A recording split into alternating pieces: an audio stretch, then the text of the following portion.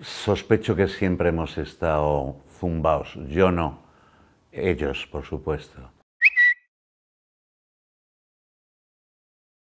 Eh, lo he dicho otras veces, no me importa que las películas duren 20 horas si, si son maravillosas. El problema es que sean un coñazo y duren, y duren tres horas. ¿no?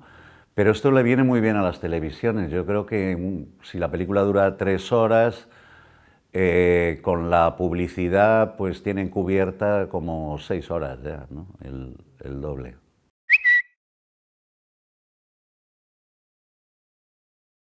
Yo quedaba con amigos durante muchos años, pero sobre todo para beber. La comida era prescindible. Eh, y era divertido. Hacíamos quinielas, yo no acertaba nunca y mis amigos se dedicaban a... eran periodistas de deportes todos y, siempre acertaban ellos, yo nunca. Eh, viene bien la, la compañía porque si estás solo entre dedicatoria y dedicatoria te puede dar algo así.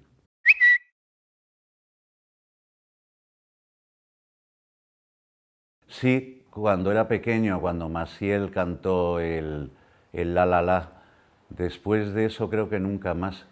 Pero hubo algo insólito una vez en Eurovisión y es que Franco Battiato, creo recordar que que cantó allí, los trenes de Toser, concretamente, y dije, pero sabía que Batiato estaba loco, pero tan loco no.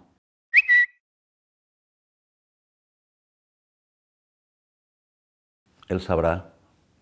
Eh, los últimos no los pude ver porque se me, se me jodió la tele, la 1, y me fue imposible. Ya sé que suena surrealista, pero fue así pero los anteriores eh, estuvo, estuvo ingenioso y estuvo, tenía cierta gracia, o sea, no, no sé de qué va esta movida.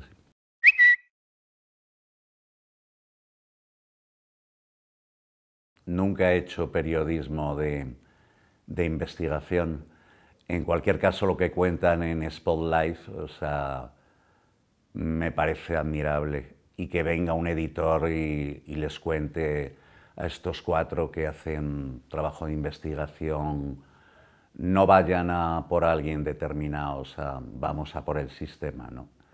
Cargarte el sistema es imposible porque se inventarían otro igual de malo, pero es una película de la que salgo muy, muy contento.